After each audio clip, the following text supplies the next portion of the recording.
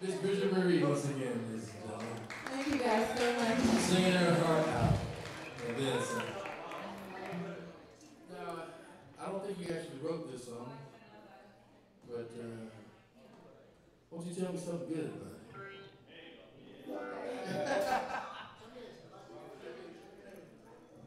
I can tell you